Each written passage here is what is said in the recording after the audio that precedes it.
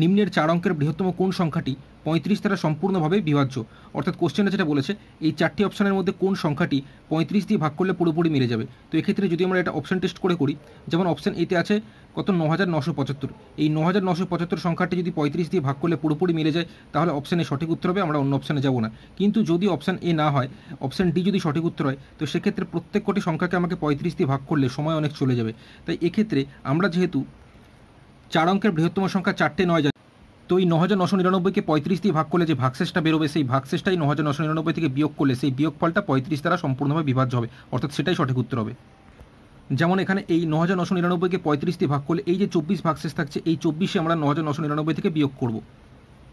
বিয়োগ করলে ন হাজার নশো পঁচাত্তর, এটাই পঁয়ত্রিশ দ্বারা সম্পূর্ণভাবে বিভাজ্য। এটা আছে অপশন এতে তাই অপশন হয়ে যাবে সঠিক উত্তর। কোশ্চেনে বলেছে, এই চারটি অপশানের মধ্যে কোন সংখ্যাটি পঁয়ত্রিশ দিয়ে সম্পূর্ণভাবে বিভাজ্য? এবার আমরা যেহেতু জানি পঁয়ত্রিশ সমান পাঁচ গুণ সাত, অর্থাৎ পাঁচ সাতে গুণ করলে পঁয়ত্রিশ হচ্ছে। তাই যে সংখ্যাটা, এই চারটি অপশানের মধ্যে যে সংখ্যাটা পাঁচ দ্বারা বিভাজ্য হবে মানে পাঁচ দিয়ে ভাগ করলে মিলে যাবে, সেই সংখ্যাটা সাত দিয়ে ভাগ করলেও মিলে যাবে। বোঝা গেল? অর্থাৎ যে সংখ্যাটি পাঁচ এবং সাত উভয় দ্বারাই ভাগ করলে মিলে যাবে, সেই সংখ্যাটা পঁয়ত্রিশ দ্বারাও ভাগ করলে মিলে যাবে। ঠিক আছে? তো আমরা তো জানি কোনো সংখ্যার লাস্ট ডিজিট মানে শেষ ডিজিটটা যদি পাঁচ হয়, তাহলে সেই সংখ্যাটা পাঁচ দিয়ে ভাগ করলে অবশ্যই মিলবে। তো পাঁচ দিয়ে তো চারটে অপশানের মধ্যে প্রতিটা সংখ্যায় মিলছে।